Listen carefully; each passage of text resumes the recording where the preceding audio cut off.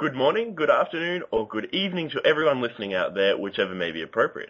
Today on ESC Daily we have the pleasure of speaking to Danish singer Christopher Brandt, who is taking part in the final of Dansk Melodi Grand Prix this Saturday. Welcome, Christopher, and thanks for Thank taking part in this interview. Yes, of course. so, um, can you please tell us a little bit about yourself and how you started singing? yes, uh, of course. Uh, I've been singing uh, since I could walk, actually, uh, more or less. Um, I've always been a, a, a very big fan of um, of uh, yeah Eurovision Song Contest, Ah, and uh, I have been uh, a big fan of all the the good old-fashioned crooners like Dean Martin and Frank Sinatra, and uh, yeah, the Danish crooners. You don't know them, but um, they are they are big. Uh, how do you say that? Uh, they are big Legends? heroes in my yeah legends. They're big heroes in my in my world. So uh, I love them very much. So old um, school. Yeah, old school, very old school. I I would like to keep it in black and white. it's classier in black and white. yeah, I love black and white, like you know, uh, you know, the smoking suit and uh, and all that kind of stuff. I I, I really like that, like the, the James Bond style, and you know, a, a daybed and a, a smoke, uh, a cigarette, and just lay down and fly and, and sing "Fly Me to the Moon." I love that. So. Uh, Very cool. Um, and before you were a professional singer, I guess, um, you were a hockey player. Yes, exactly. I played hockey for 11 years in my uh, my hometown called Rungsted. Uh, I was uh, left wing, Yep. number 19, Christopher Brandt. Um, uh, I was very fond of that. Uh, but uh, then uh, I uh, we we won an, uh, a Swedish uh, tournament, um, and then uh, I when we should uh, have um, have our medals because Yep. we won, I just grabbed the microphone and and start singing uh, the national anthem, and uh, since then uh, I I dropped the, the ice hockey and and start singing. Awesome. Uh, I, now, uh, please excuse my ignorance, but I'm going to assume that that is ice hockey, not field hockey. That's ice hockey on ice. It's very cold on the Excellent. ice, so uh, it's uh, yeah, it's with a club and a puck. So uh, yeah. In Australia, we all play field hockey, not ice Yeah, I know that. It, it's not it's not much fun in my. I never tried it. I can't tell. But uh, I love the ice hockey. It's a it's a brutal game. But you know you know brutal games as well. I Yeah. uh, I can imagine. Yeah. Yeah, our, our football's a pretty rough game. Yeah. Exactly. It's very Um, rough. So, how did you, um, after you sang the national anthem, how did you go about singing professionally?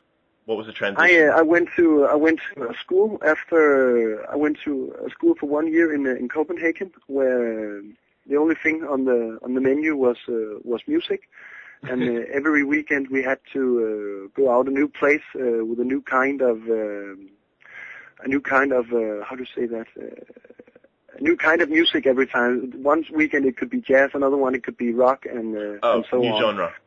Yeah, new genre, exactly. Um, and then I did that for a year, and and then I I find my own uh, I found my own my own style, and uh, so it's it's a, it's a mix of uh, it, is pop music that I'm that I'm uh, performing with, but the the visual uh, thing is is from the good old days. So I'd like I'd like to mix uh, 1960 compared to 2011, um, but still keep the the music modern, uh, and just, So, just give uh, it a twist A retro fusion. Yeah, exactly. That sounds very nice. It sounds nicer when you say it. so, uh, so that's the idea of it. Cool. Um, well, your your song in Dansk Melodi Grand Prix is uh, called Emma, and as we heard yesterday when the snippets were released, it's in Danish.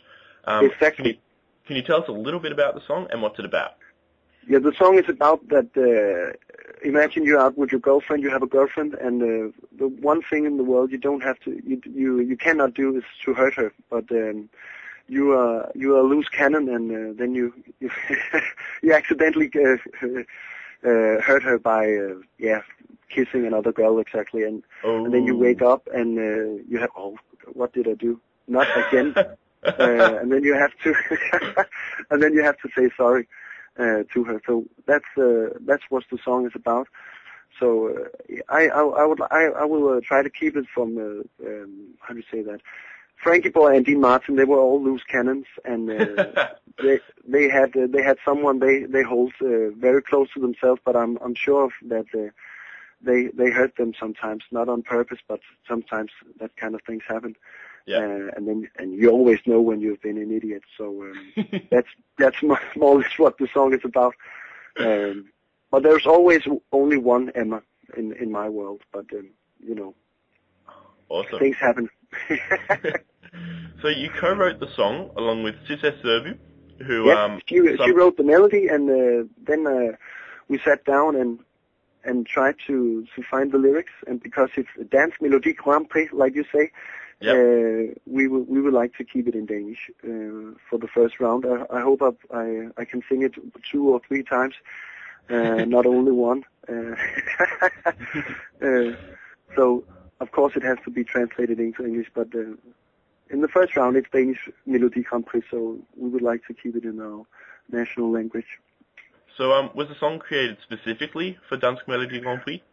We have always uh, been talking about. Last year we we uh, we were a little too late to uh, to send something in, and we have always been a very big fan of uh, of, of Grand Prix. And uh, we we always talked about oh let's make something, and we always been a little too late. But uh, this year we said we gotta make something for for this year. And then we sat down, and uh, yeah, she called me. I was uh, in a in a local bar uh, on Yep. a Saturday with uh, some friends, smoking cigarette indoor and drinking a couple of beers, I think.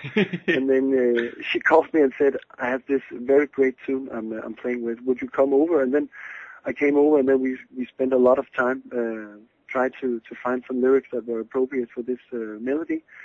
And then we had a, a very big uh, laugh that uh, it was so like me uh, this uh, this lyrics, and said this has to be it. We don't want to make any changes of it now. And then we sent it in, and then we saw, then it was uh, Happy Days. Fantastic. they and uh, Leo well, Mhm. um, my next question you've already sort of answered, but I'll ask you anyway. Um, in the entirety of Eurovision history, uh, if there has been an option not to sing in Danish, Denmark has done that and sung in English. So, uh, I was going to ask, if you win, would you be the first singer to sing in Danish under the free language rule, or No, will you sing in English? I will I will sing in English because uh, of course this is uh, the Danish uh, country, Yep. but always there is always a message in every kind of song. So uh, I would like to spread my message if I win. So of course it has to be in English if I it has to go uh, more or less worldwide. So Uh-huh. uh, otherwise uh, people will not have a single chance if uh, if they are sitting with their dictionary and trying to keep up. So uh, I will I will I will write it in English. Ha- Has an English version already been created, or have you got an idea of No, what not it'll not be? yet. We we have a pretty good idea because you can always sing Emma and Dilemma. It's it's still the same. So uh, the hook the hook is uh, is more or less uh, written. so we just have to uh, to find out uh, the verses how we're going to do them. Awesome. Um, Yeah. Do you have any favorite Danish Eurovision songs? Yes, I have a lot of Danish uh, favorite Eurovision songs, but it's it's it's uh, they're before I was born. Um, well, they're the best ones. Yeah, so they are not in, they're not in English, I think. So uh, we had an artist called uh, Dario Campeotto, who is uh, more or less the same. Uh, he's uh, parallel to what can you say, Dean Martin, Frank Sinatra. He's a Danish crooner, Yep. uh, an opera singer, and has been uh, in many Danish old-fashioned movies. But and he's still going strong here in Denmark. Uh, he's an, he's an old timer. Cool. Um, and then we had a guy called Otto Brandenburg. Try to Yep. pronounce that. Uh, and uh, he sang. Uh, he's also he also was a very big uh, famous guy. He's dead now. I think he he liked he liked the beer a little too. Uh, he was he, he was a big jammer uh, like me. So uh, they are they are my they are, they are this, uh, the artists that I really love when when we're talking Danish Grand Prix. Fantastic. So it has to be Um, them, yeah. well, when you're not singing or playing hockey, what do you do with Yeah. your time? Oh, uh, I have a I have a daytime job as well. Yep. Uh, I'm in uh, in printing. Um, Ah. Yeah, so that's also an old-fashioned uh, job. So everything about me is more or less old-fashioned. Just totally Um, old school. Yeah, totally old school. So uh, then I then I go to uh, what we call in Denmark traditional bars. You can you can compare them to English pubs.